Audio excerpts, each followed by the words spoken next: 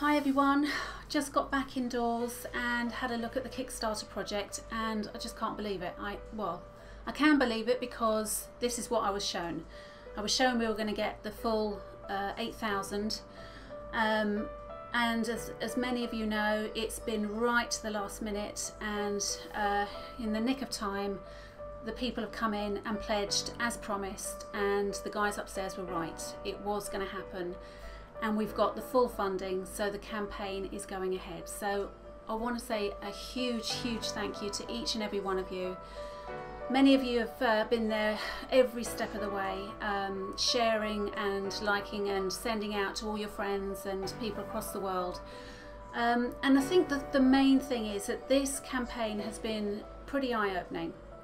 It showed me the compassion and the understanding and the faith that people have uh, in the process of when like-minded people get together uh, with a common uh, thought, um, feeling in their heart that they want to make a difference. And I can't do this without you guys. So because of you guys, I can now do this.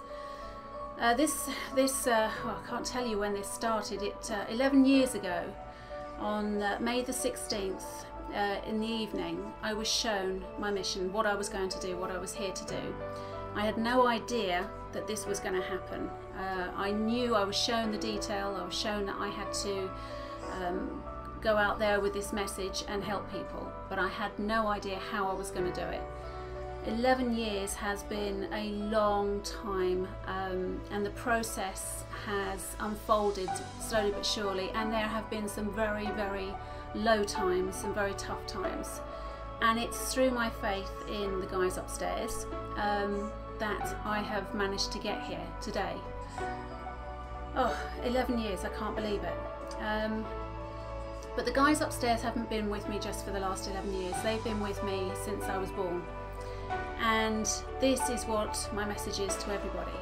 If we have absolute faith that regardless of how difficult times are and our situations that challenge us, if we have faith and we allow ourselves to reach out, go deep into our intuitive faculties and totally trust what we're being shown, then we can create the miracles that we have the ability to achieve.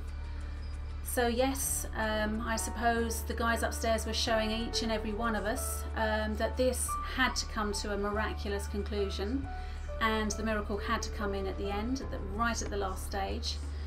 And there were times, as I say, when I thought, well, even you guys can't pull this one off, but they did.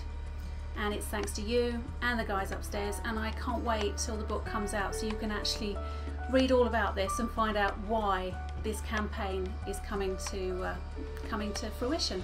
So thank you.